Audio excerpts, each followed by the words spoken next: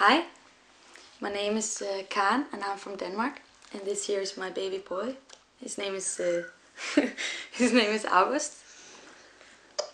Yeah, I'm doing this video because I'm trying to find uh, August's father. Um, so if you are out there and you see this, then this is for you. We met one and a half year ago when you were on uh, vacation here in Denmark and we met at the at the Custom House bar.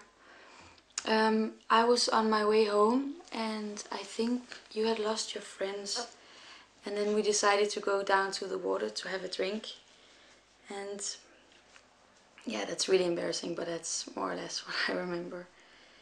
I don't remember where you're from or yeah, I don't even remember your name. I do remember though that we were talking about Denmark and the thing we have here with hygge that foreign people always ask about. And that's, yeah, you were really nice. So I guess I decided to show you what hygge is all about because we went back to, um, we went back to my house. Um, and yeah, we ended up having sex. And um, the next morning when I woke up, you were gone. Um, it's not that I blame you for anything and I'm I'm not crazy or this is not some kind of obsession that I have with you. I just really really want to let you know that um, that August is here, that he exists. Um, I feel I owe it to both you and and to him. Um, yeah.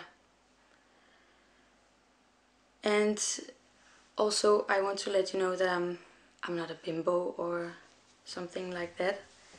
I know that August is yours because I haven't been with anybody else since that night. Um, yeah, just so you know that. I know that this is really a long shot, but if you're out there and you see this or anybody else who can help me see this, please contact me. I will put my email with this uh, video. So just write me